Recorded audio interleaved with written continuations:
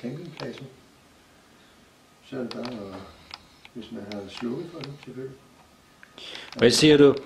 At det er en silent guitar. Det er en silent guitar. Ja, det vil sige guitar uden lyde. ja. Okay. Og det vil sige, at man kan sidde og øh, øve, uden at underholde en hel masse.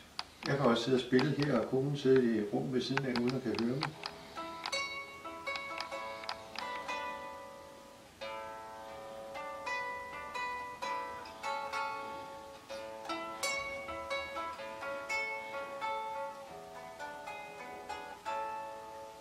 Ja.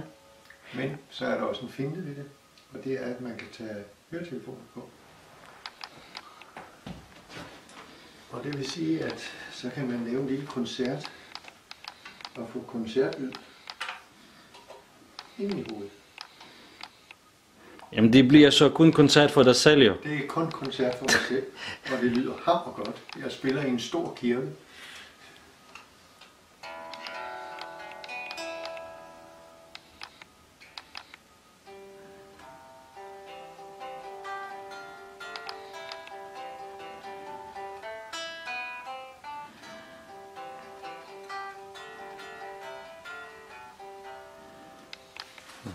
Men det er kun mig, der får fornøjelse af det.